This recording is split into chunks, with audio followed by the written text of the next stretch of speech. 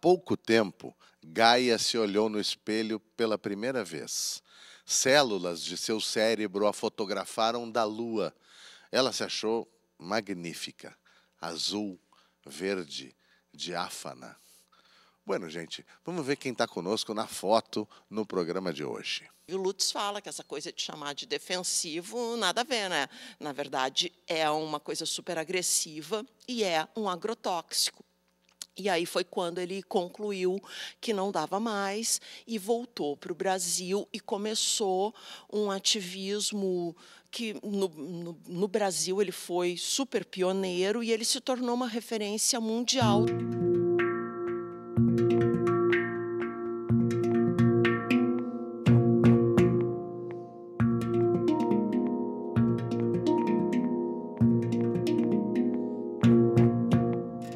Tá aí a jornalista Lúcia Brito e o músico uruguaio Pablo Vares.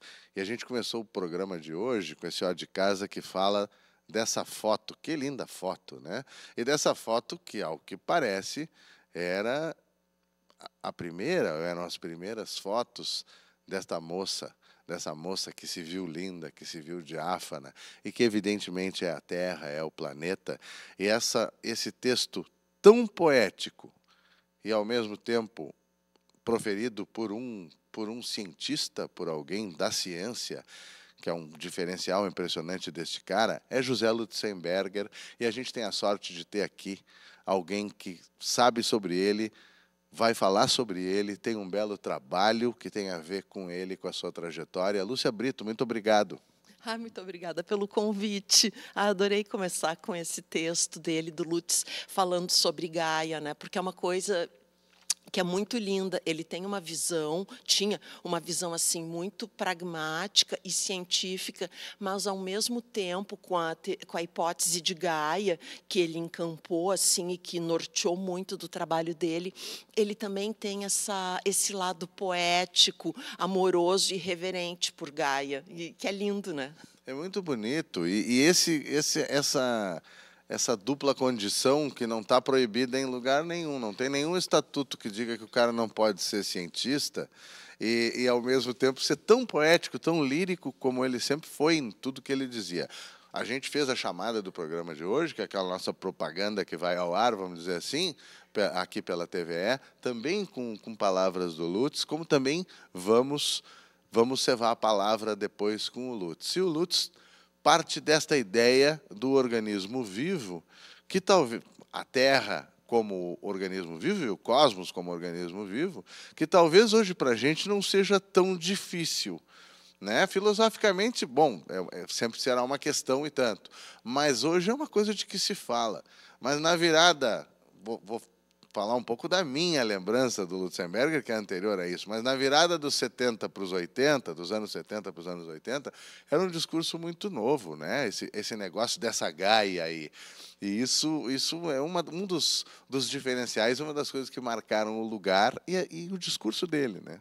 Sim, uh, o Lutz, ele se guiou por essa hipótese de Gaia, hum, acho que mais ou menos pouco depois de que ela foi formulada. Foi uma coisa que começou a ser falada nos anos 70, no começo dos anos 70. E hoje em dia se fala muito mais. O Ailton Krenak fala de um jeito muito parecido sobre Gaia, que era uma coisa que assim, né, que os povos originários e que as culturas antigas tinham uma perfeita noção de que a gente não é assim uh, um fora, da, né, um passageiro da Terra. Não, a gente faz parte. E isso é uma coisa que ele também fala, num dos textos até que está no livro, que é a ideia de que a gente é passageiro e de que a Terra seria tipo uma nave espacial não, não está correta, porque, na verdade, a gente faz parte. Né? Uh, Gaia é um organismo vivo, e aí ele explica, né, não é um organismo vivo que nem nós, que nem uma planta, não, mas ela é um organismo vivo porque tudo que faz parte de Gaia é a sinfonia que ele fala, né? Cada coisa é um instrumento tocando a sinfonia e todas as coisas são importantes para a música, para né, o concerto fluir. Pois é, quando tu falas isso dos povos originários, tem uma afinação, já que estamos com a sinfonia, muito clara, muito imediata. Por exemplo, aí acima de ti, um pouco à tua esquerda, tem as bandeiras de dois. Uma não é exatamente de um povo originário, de uma etnia. A primeira é a bandeira Mapuche. Essa, essa palavra Mapuche já está composta por terra, por mapo. E a outra é a bandeira dos povos andinos, que são os caras que popularizaram, acho que hoje se pode dizer mundialmente, a ideia da Pachamama, da Pacha.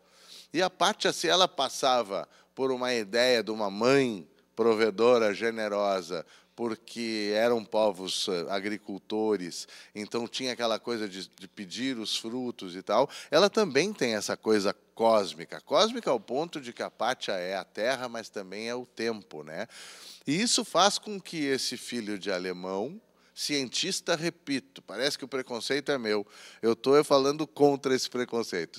Esse, esse cientista, filho de alemão, faz pensar no Rodolfo Kutz, na, na, na, Argentina, um filósofo que abraça o pensamento originário e justamente é um, um filho de alemães e tal, de, de, que se esperaria talvez uma outra trajetória de pensamento. Né? E também é um cara que teve em algum momento trabalhando para a indústria ele contava isso, né, para a indústria de, de, de produtos para lavoura e tal, e faz uma ruptura na sua vida, faz uma tomada de consciência que ele generosamente estende a todos nós. Né? Sim, foi. Uh, no caso né, do Lutz, ele trabalhava numa multinacional e no começo uh, era mais uma, uma produção de adubos, de fertilizantes, que na época ele nem considerava uma coisa assim tão tão ruim. Mas quando a empresa começou a investir na, na, nos defensivos, que é o nome certo, na verdade, é biocida, né? porque não, não defende, mata. Né? E aí, inclusive, o Lutz fala que essa coisa de chamar de defensivo, nada a ver. Né? Na verdade, é uma coisa super agressiva e é um agrotóxico. E aí foi quando ele concluiu que não dava mais e voltou para o Brasil e começou um ativismo que no, no, no, Brasil ele foi super pioneiro e ele se tornou uma referência mundial também, com as ideias dele, com a visão dele, que se somou a de outras pessoas, né, como Margulis, que desenvolveu até a hipótese de Gaia, que é essa coisa de ver a terra e a natureza e os recursos naturais não como coisas a serem exploradas assim e, e, saqueadas e pilhadas e devastadas, mas não como coisas a serem usadas com cuidado, com respeito pelo ambiente e sabendo que assim os recursos naturais eles não eles não são infinitos, né? Não dá para tu ficar simplesmente uh, consumindo tudo loucamente, porque vai acabar e antes de acabar a gente vai ter problemas, coisas que a gente está vendo agora, né? Cada vez mais. Um Amalta, que é um, um, um sábio da região andina, chamado Choquehuanca, a ele se atribui, sabe-se lá se não é uma coisa muito anterior a ele, popularizou aquela frase: o ser humano é terra que anda, né? Runa alpacamasca. O, o ser humano é terra que anda. E uma curiosidade que eu gosto de comentar com as pessoas, a gente gosta muito de uma frase que teria sido dita por um indígena no, na história do Rio Grande do Sul: esta terra tem dono que é o Cepete Araju. Eu até acredito que ele possa ter dito isso, por ter sido alguém que teve toda uma formação não indígena, eh, era um, um poliglota, era um falante de, de, do latim, era alguém que foi corregedor do, do, dos povos das missões. Então, a partir de um ponto de vista não indígena, ele poderia ter dito isso, porque essa coisa da propriedade da terra é impossível, né? Não, é, é, isso é, não existe, né? Não é, não é pensável. Então, Lutz provoca também por aí, né? Imagina, estamos aqui em plena ditadura, setenta e poucos, oitenta e poucos, setenta e tantos, oitenta e poucos, e o cara dizendo, tá, mas acontece que a terra não é um bem a ser explorado. Puxa, complica, né? Sim, sim, ele, é, e ele começou ah, o ativismo ali por 72, 73, né? Tem, são os primeiros textos dele, assim, e claro que era uma visão que daí eh, foi muito combatida, né? Porque as pessoas chamavam ele de ecochato, de profeta do apocalipse, porque diziam que ele era um alarmista, que ai, que bobagem, né? E claro, ele na, na época também falou muito sobre a Amazônia, de dizer que tinha que ser preservada, e ele tinha muitos embates com os políticos que diziam: "Ah, mas por que tem tanta que que tem desmatar aí um, um pedaço e tal?" E ele dizia: "Não, não é assim." E aí eles também vinham com aquilo, ah, que a Amazônia é nossa e que a gente tem que povoar. E, né, e justamente nessa coisa dessa terra tem dono, e, e aí aquelas coisas, não, se a gente não ocupar, outros virão e ocuparão. E ele dizia que não, que não podia ser assim. Né? Não é assim que a coisa funciona, né? Lúcia, a gente o, o, nosso papo seria maravilhoso de qualquer forma, mas a gente ainda tem um mote, um assunto hoje super legal, que é um lindo de um trabalho que tu lanças e nos trazes. Mas antes disso, o pessoal está acostumado que eu trago alguma música. Te, te, te mostro para ti, para o pessoal de casa, alguma música que tem a ver com, o que a gente está falando. Eu vou puxar uma dos nossos pessoelos, dos nossos, dos nossos arquivos. Quando a gente recebeu aqui, já que o Lutz tem uma relação tão forte com o Parque de Itapuã, quando a gente recebeu aqui há algum tempo a Daisy, lá, diretora de Itapuã, a gente, eu apresentei ali para ela e para o pessoal uma música que se chama Paisaje de Catamarca, que é uma samba argentina que fala da paisagem a partir desse ponto de vista vivo. Todos nós somos paisagem, não é uma foto, é muito mais do que isso, né? Vamos escutar? Vamos. Vamos lá.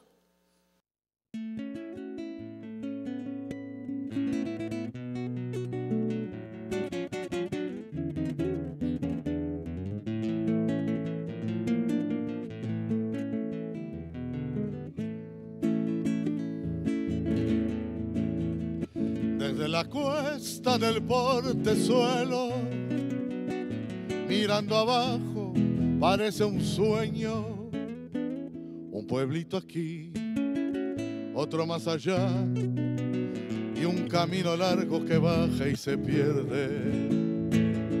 Un pueblito aquí, otro más allá, y un camino largo que baja y se pierde. Hay un ranchito sombreado de higuera y bajo el tala durmiendo un perro y al atardecer cuando baje el sol, una majadita que vuelve del cerro. Y al atardecer, cuando baje el sol, una majadita que vuelve del cerro. Paisaje de Catamarca, con mil distintos tonos de verde, un pueblito aquí otro más allá y un camino largo que baja y se pierde. Un pueblito aquí, otro más allá y un camino largo que baja y se pierde.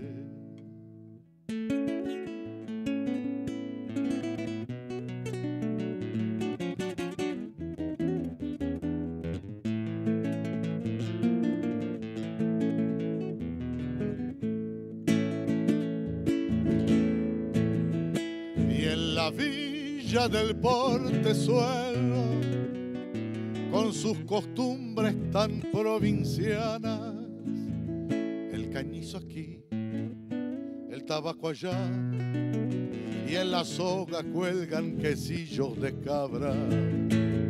El cañizo aquí, el tabaco allá, y en la soga cuelgan quesillos de cabra con una escoba de pichanilla, una chinita barriendo el patio y sobre el nogal, centenario ya, se oye un chalchalero que ensaya su canto y sobre el nogal, centenario ya, se oye un chalchalero que ensaya su canto paisaje de Catamarca con mil distintos tonos de verde.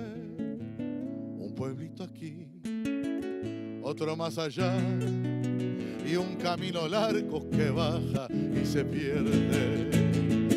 Un pueblito aquí, otro más allá y un camino largo que baja se pierde.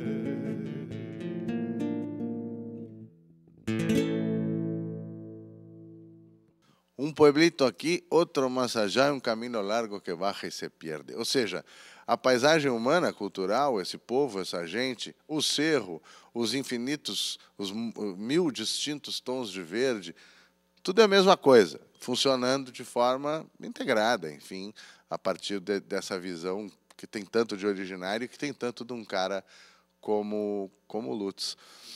E por falar em visão, o Lutz é o cara que está lá na nossa chamada para o programa de hoje, que diz assim: só o cego intelectual, e aí, como quem explicasse essa expressão, o imediatista.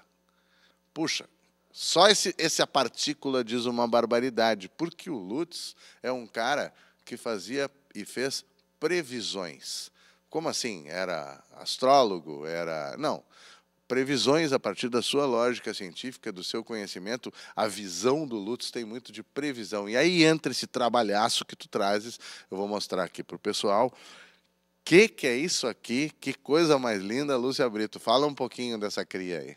Pois então, uh, esse livro foi uma ideia do José Barrio Nuevo.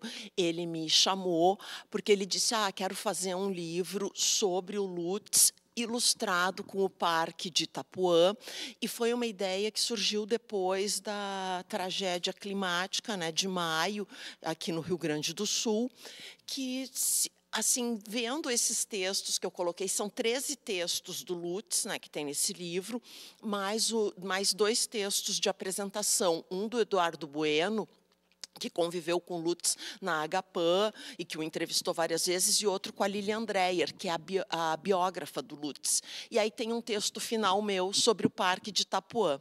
Essa aí é uma paisagem da Praia de Fora. Aí surgiu a ideia de se fazer esse livro e eu selecionei textos do Lutz que são totalmente atuais. São textos que vão de 72 a 97 e quem lê ah, pensa que foi escrito ontem, né? Porque ele apresenta, eu separei assim textos que apresentam a visão dele sobre o planeta e as previsões que agora já estão, né, totalmente acontecendo e que na época as pessoas chamavam ele né, do profeta do Apocalipse e então o Apocalipse já é, né? Porque estamos vendo. Ele falava sobre a, a Amazônia, sobre queimadas. Um dos textos, o último texto que eu achei no li, para o livro é um que fala sobre as queimadas no Pantanal e esse texto quando eu li já estava começando essa, essa sequência horrorosa de incêndios que se teve né, no Pantanal, Cerrado e Amazônia. E ele fala, ele fala nesse texto sobre o que, que acontece, que não é só assim nada do que a gente faz é, fica ali sabe só naquele momento. Não isso tudo tem consequência. E ele deixa muito claro que não é assim uh, tu tem que queimar tudo e derrubar a última árvore para um ecossistema morrer. Não existe um ponto de não retorno antes disso. E ele já alertava que a gente estava se aproximando para esse ponto de não retorno que não é assim uma coisa previsível. Ah se a gente deixar tantos por cento em pé, está tudo certo. Não, não existe como calcular isso. Né? E, e, esse livro coloca muito esses alertas que ele faz. E ele também fala sobre inundações, as causas e consequências das inundações. Está tudo assim, ele, ele já, já tinha avisado tudo e ele dá ideias né, de como se mudar o, o, rumo que se está seguindo. Ele não, ele não só fazia as previsões, como ele apontava alternativas e alternativas viáveis, porque é óbvio, né? Não é assim voltar para uma, né, para uma coisa pré-período industrial, não, mas é ter um desenvolvimento sustentável. Pois é, é, é, o ponto de vista do cientista ativista, do cientista de intervenção, de militância, né? E talvez alguém que ouviu o que eu falou, o que eu falei antes pensou, puxa, o Demetrius está tá desconsiderando a lógica, por exemplo, da astrologia. Em absoluto, não, não, não era, não é essa a intenção da comparação. É que talvez a gente não esteja esperando, como não está esperando o texto poético e lírico e bonito dele, não está esperando isso do alemão cientista, né? alemão cientista que eu gosto de recordar que era filho de um cara que tem algumas das obras de arte mais bonitas, mais interessantes sobre o personagem do gaúcho. Não só sobre ele, também chamado José Lutzenberger. Procurem o desenho do, do Lutz pai. Lúcia, e tu? A, a tua chegada nesse universo, neste cara talvez lá na Fundação Gaia, naquele lugar mágico. não sei, como é que a Lúcia encontra esse universo todo?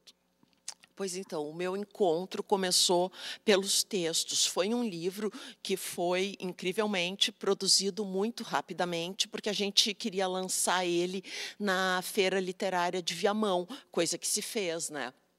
Mas foi um período de tempo muito curto. Então eu comecei pelos textos, eu fui atrás dos livros dele em sebos e quem me ajudou também muito foi a Lili Lutzenberger, uma das filhas do Lutz, que cuida do acervo dele e aí ela me, me, me, me apresentou textos, conseguiu coisas que eu queria e ela se encantou pelo projeto, tudo. Então foi, ela me ajudou bastante nisso e aí eu fui selecionando os textos. Depois eu fui para Itapuã. Claro, eu já conhecia o Lutz lá dos anos 80 e muitas das ideias dele e das coisas que ele falou me nortearam ao longo da vida, assim, sabe, na coisa de consumo sustentável, de agricultura ecológica, né, uh, da agricultura familiar, da alimentação com produtos orgânicos, tudo isso sempre me interessou. E aí foi muito lindo agora voltar a isso e ler esses textos dele. E aí eu fui para Itapuã com o fotógrafo Daniel Marenco, a gente inclusive pernoitou lá e passeou pelo parque, conheceu tudo para ele fazer as fotos. E foi assim uma experiência, ah, é uma coisa inacreditável, sabe? Itapuã realmente é um lugar mágico, sabe? É uma coisa assim, eu senti lá coisas que eu senti poucas vezes na vida. É, é um lugar assim impressionante e cuja sobrevivência e existência como parque está totalmente ligada ao Lutz. É por isso que o livro é amplamente ilustrado com fotos de Itapuã porque Itapuã, na década de 70 e 80, estava sendo destroçado pelas pedreiras e também pela ocupação ilegal, uh, loteamentos totalmente irregulares. As pessoas chegavam lá e faziam casa, né? casa de veraneio, especialmente na praia de fora, e, a, e o sistema todo estava sendo super agredido. E aí o Lutz e o pessoal da Agapan começou um super movimento para forçar a criação do parque, que foi criado em 73, mas só saiu do papel muito depois, né? E aí Itapuã, inclusive, teve que ficar fechado depois como parque durante 11 anos para ter uma recuperação da, dos ecossistemas, né? Imagina, aquela joia lá também se deve, evidentemente não só a ele, mas em grande parte à, à, militância do, do Lutz. Eu quero te agradecer, gostaria que tu, rapidamente, a gente sempre, o tempo anda na nossa volta e, e no nosso garrão também, que tu falasses sobre a, os autógrafos, o lançamento na Feira do Livro, para a gente ir passando para a nossa cevada de palavra. Pois então, o livro vai ser lançado agora dia 5 de novembro, que é uma terça-feira, às 7 da noite, na Feira do Livro de Porto Alegre. E eu queria destacar que esse livro é um projeto incentivado pela Lei Rouanet, e daí foi patrocinado pela Corsã e pela Viemar. E é super importante, né, a Lei Rouanet e, a, e o patrocínio, porque são, são projetos que, senão, não, não teriam como ser executados. As leis de incentivo mudaram a, a história da produção cultural, são uma conquista fundamental que, quando precisar de correções, como tudo, a gente deve estar atento, mas que devem ser preservadas e defendidas. Muito obrigado, Lúcia Brito. Obrigada, obrigada. A gente vai para o intervalo e vai com o Lutz e com o meu gateadinho cevar a palavra.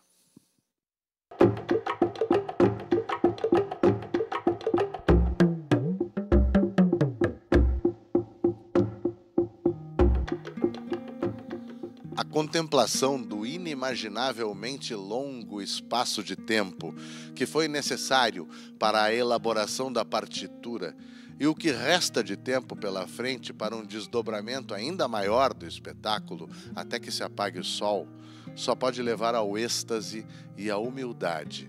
Assim, o grande Albert Schweitzer enunciou como princípio básico de ética o princípio fundamental da reverência pela vida em todas as suas formas e manifestações. Se há um pecado grave, esse é frear a vida em seu desdobramento, eliminar espécies irremediavelmente, arrasar paisagens, matar oceanos.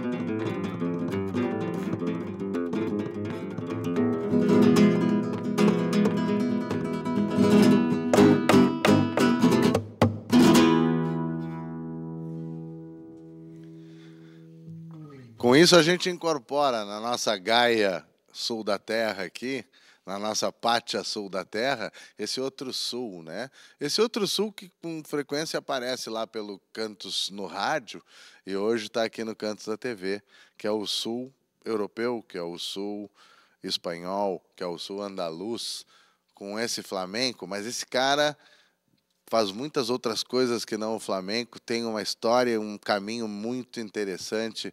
Pablo Vares, muito obrigado. Muito feliz de estar aqui, Demétrio.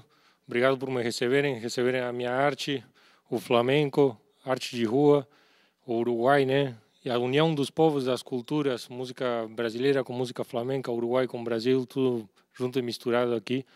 Muito obrigado.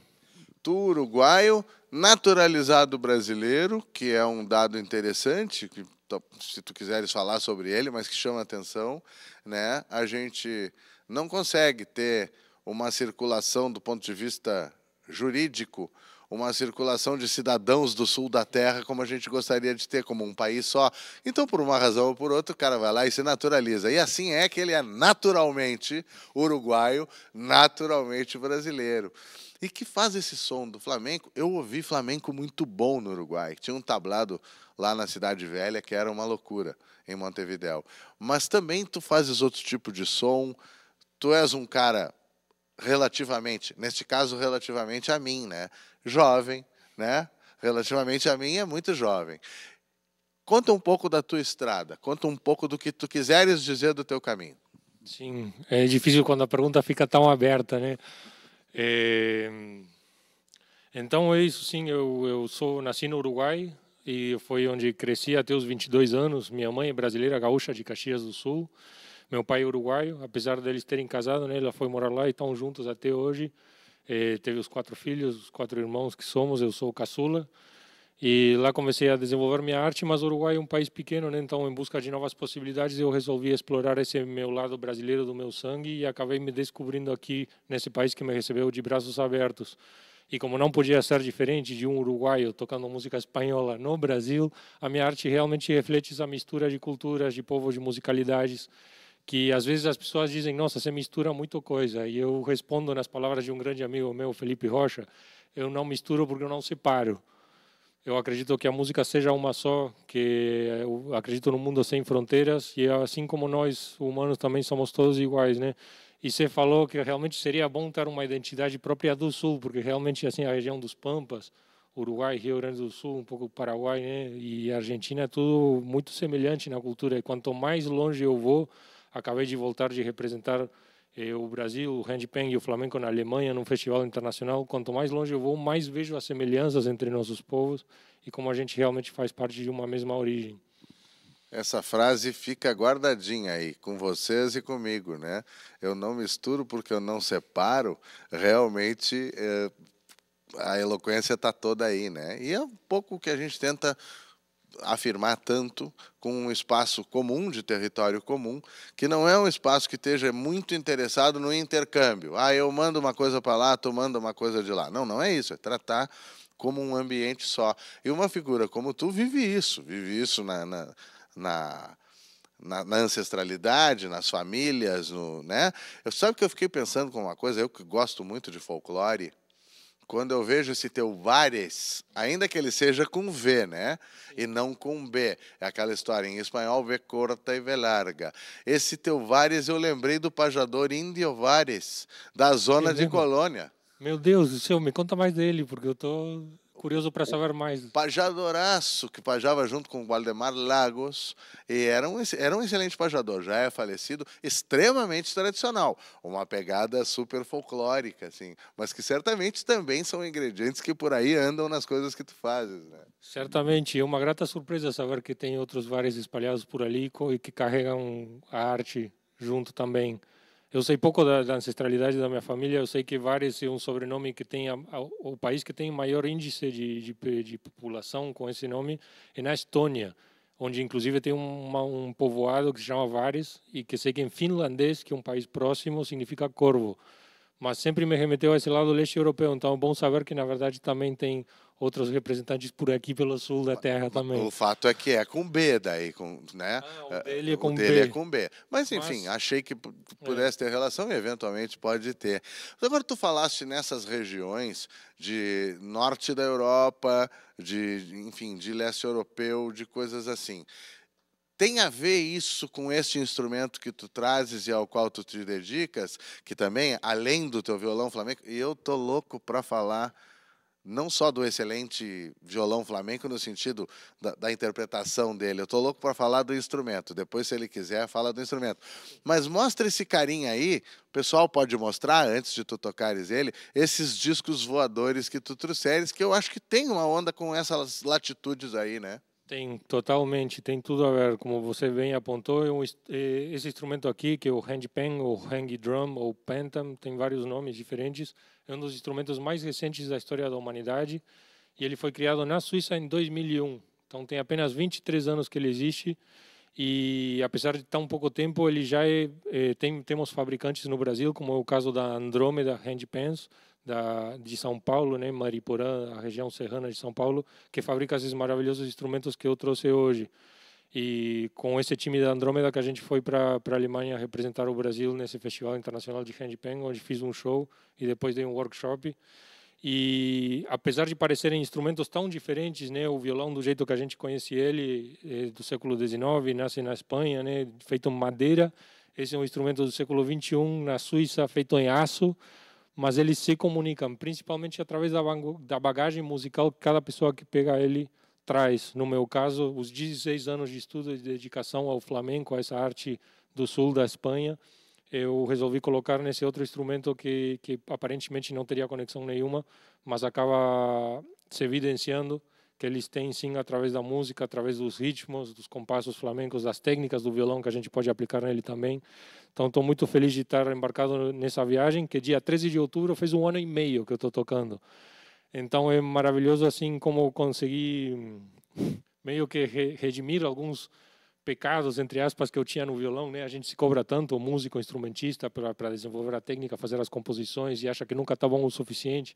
Às vezes demora demais para fazer as coisas acontecerem. E aí, depois de 16 anos, demorei 14 anos em gravar meu primeiro disco de violão. Eu falei, não, gente, o handpan eu vou. Já em um mês apenas já tinha composto uma música, já levava ali para os shows. Aí, em abril, gravei meu primeiro disco de handpan. Agora fui para a Alemanha estou com um patrocinador, no caso Andrômeda, que me deu esses dois maravilhosos instrumentos aqui. Então, está sendo uma viagem bem, uma aventura e tanto. Olha só, é uma coisa surpreendente porque, primeiro, mais do que bonito e, e justo que a conexão que se estabeleça entre os instrumentos seja tu, seja tu, teu corpo, tua, tua musicalidade, tua estrada, espetacular. E depois fica, eu fico, fico pensando, na coisa um tanto quanto percussiva que o flamenco tem, Uh, rítmica de uma forma percussiva, chamemos assim, né? Porque não estou falando em instrumentos de percussão. Ele tem em si, tem no sapateado, ele tem nessa mão direita que às vezes bate na caixa e tal. E aí essa ideia é sensacional de levar para esse instrumento. O Bernardo Moleta, violonista da equipe aqui do programa estava namorando aquele instrumento que tu trouxeste e é um violão muito interessante. Entre outras coisas, Realmente. procurem sentir em casa. Ele é levezinho que tu não acredita. Fala um pouquinho desse instrumento aí.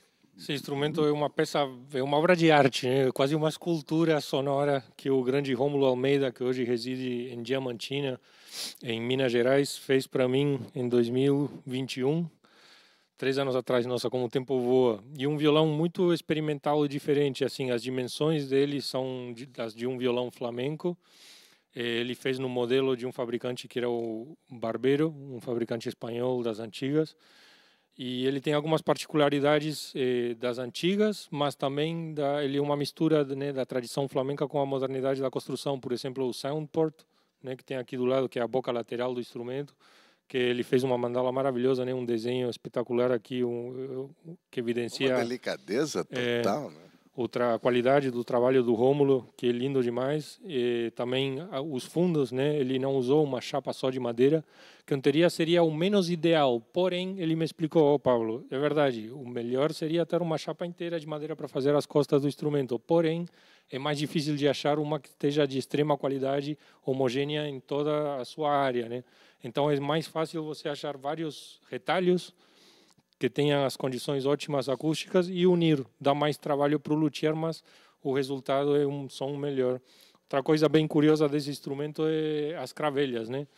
Em vez de usar um mecanismo de tarraxa com de, forma mecânica, né, com engrenagens, ele é cravelha, como se fosse um violino, um violoncelo. Assim, se eu puxar, ele sai. É só um pauzinho de madeira conectado na, na na palha da guitarra, como decimos em espanhol, a mão né, dele. Então isso deu resultado nesse belo instrumento maravilhoso. Um somzão também, também, um sonsaço, né? Aberto de violão flamenco mesmo. É, ele tem um som bem característico do flamenco. O resultado foi esse, um som mais brilhante, mais projetado, né, com volume e que surpreende dado o tamanho do instrumento, que ele é leve, é pequeno, então as pessoas às vezes acham que vai ter menos som, mas ele fala alto.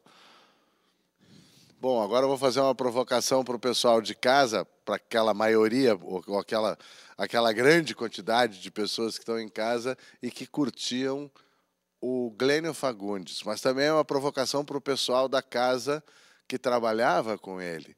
O Glênio tinha um violão, uma guitarra flamenca da família dele, antiga, uma guitarra espanhola, estou eu dizendo flamenca, com estas proporções e também com cravelhas, com esse sistema de afinação. Só que ela era escura e era toda esfoladinha.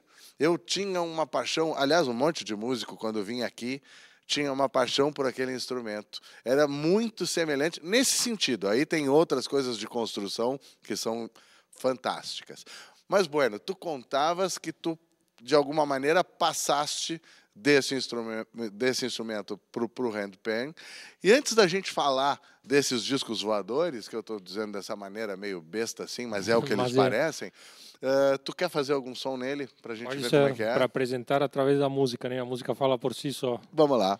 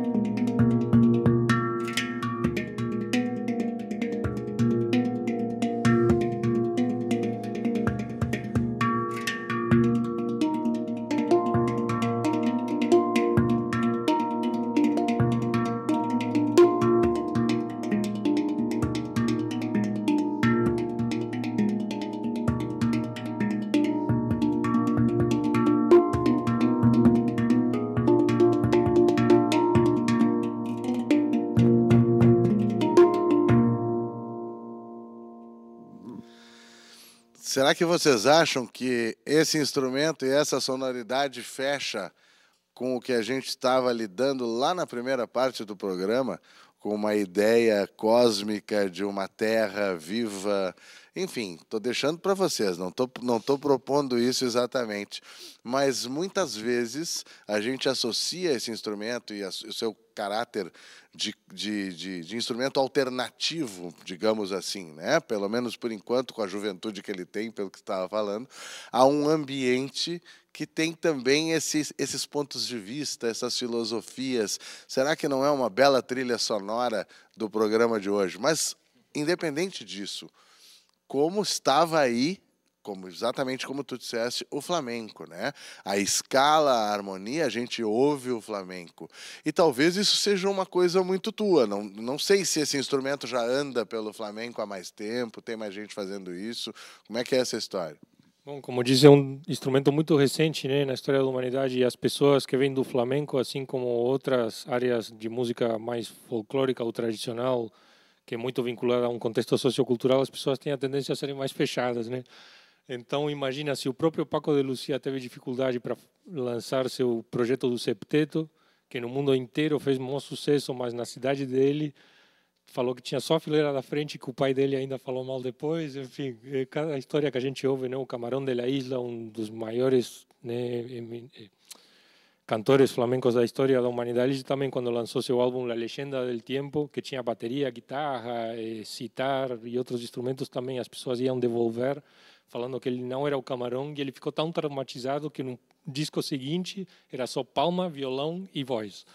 Então, assim, a gente às vezes tem uma dificuldade em todas as áreas da vida e da, da humanidade em, em ir para frente, né? Em a gente abrir mão daquilo que já é garantido que funciona e trazer novas experiências. Então, realmente, a união do handpan com o flamenco é uma coisa que não é tão comum. É, eu, na verdade, fiz questão de nem fazer aula desse instrumento, nem nada. Para mim foi quase como uma experiência de cientista. Assim. Agora, o que, que acontece se eu, com 16 anos de bagagem de violão flamenco, pegar nessa nave espacial? Aí eu vou vendo como que se toca, tal, pegando as coisas que eu faço no violão, trazendo os ritmos, as técnicas do violão, como você viu, eu aplico algumas coisas do flamenco. E fiz essa pesquisa. Depois que eu fiz as minhas músicas, que já estava tocando e gravando, falei, ah, vamos ver o que, que já tem disso pelo mundo. E achei que, de fato, tem alguns artistas que, que praticam também, mas cada pessoa é diferente, cada pessoa toca do seu jeito e não deixa de ser inovador. Como eu disse, agora eu estava tocando na Alemanha, num festival internacional de handpan.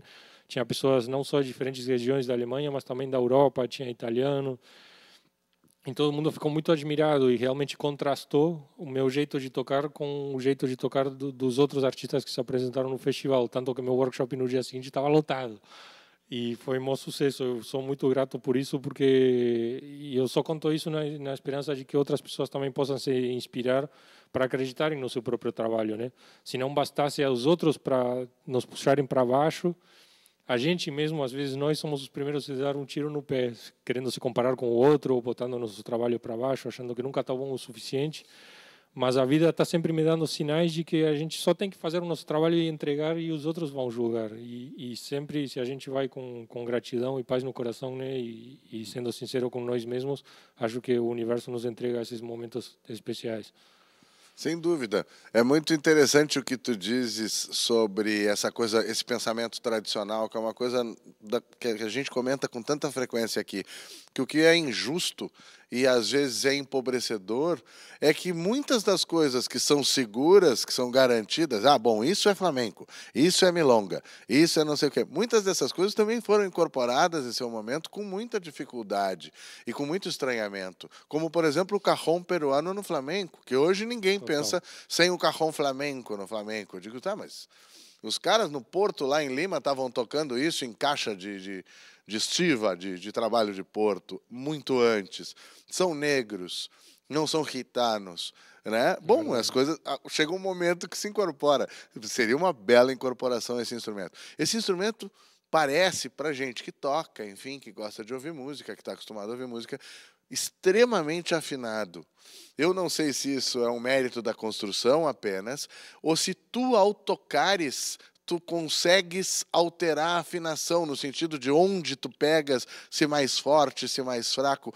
Como, poder, por exemplo, quando tu toca um instrumento de sopro e tu sopra mais forte ou mais fraco, tu muda a afinação, né? Tem um pouco disso ou além e, e além disso ele é extremamente bem construído, enfim. É, tem vários aspectos aí que você mencionou. Primeiramente, eu queria acrescentar a história do cajón, que é maravilhosa. Só quem trouxe ele para o Flamengo foi um baiano, um brasileiro, só para honrar essa terra maravilhosa que é o Brasil, né? Mais uma vez botando a sua mão e fazendo com que as coisas fiquem melhores em outras culturas também. Foi o Rubem Dantas que participava, era o percussionista do Paco de Lucia que fez a descoberta de um instrumento que realmente né, tem outras origens. A mistura das coisas que não tem por que ser separadas, né? Exatamente. É isso aí. E então agora temos esse handpan maravilhoso fabricado aqui no Brasil pela Andrômeda e realmente a afinação e a escala dele e a precisão das notas é mérito principalmente do fabricante, que é excepcional e está fazendo sucesso no mundo inteiro, os handpan da Andrômeda. Eu estava lá na Alemanha com a Handpan World, que é o maior distribuidor de handpans da Alemanha. Eles têm 40 pontos de revenda no país inteiro e eles disseram o handpan que mais sai é do Brasil, a Andrômeda. E então o processo de fabricação é tudo muito complexo, né? Passa por várias etapas, apesar de precisar de maquinária para poder trabalhar o aço, que ele é feito de aço, ele é um processo inteiramente artesanal. Precisa da pessoa lá mexendo na maquinária para fazer acontecer e em vários momentos do processo ele pode dar ruim, pode rachar o, a, a, a concha metálica, né? E, e o resultado é esse, um instrumento muito versátil, como você falou, realmente também aí vai no, no jeito da pessoa tocar. Realmente ele tem nuances, ele tem muita dinâmica. Dependendo de onde você bater o tipo de som que vai tirar, né? Aqui é mais redondo, aqui é um pouco mais metálico na borda é um outro, com mais harmônicos talvez. Aí você pode tirar uns harmônicos, cada nota tem três notas, na verdade. A tônica, a oitava e a quinta.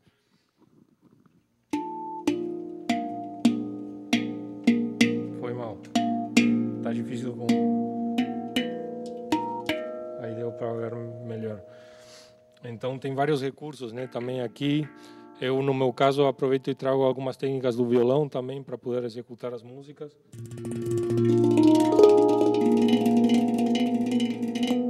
Assim como outros instrumentos de percussão, como o tombak.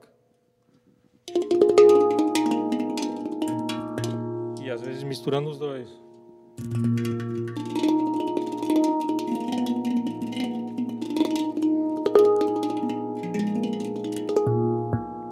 Assim como trouxe outras coisas do flamenco. O flamenco é uma coisa tradicional que as pessoas costumavam tocar em reuniões familiares, em festas, todo mundo ao redor de uma mesa, todo mundo participando, né? Quem quisesse cantar, dançar, tocar.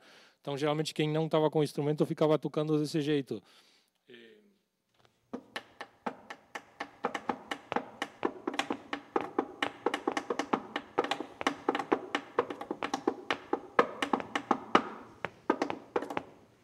Então eu resolvi trazer isso para o handpan. Se bem ele não soa bem em todas as partes dele, né? Porque soa muito agudo, assim, muito estalado. E também abafa a nota, mas ele funciona muito bem aqui, nessa nota central que a gente chama de jing. Então dá para fazer um som assim.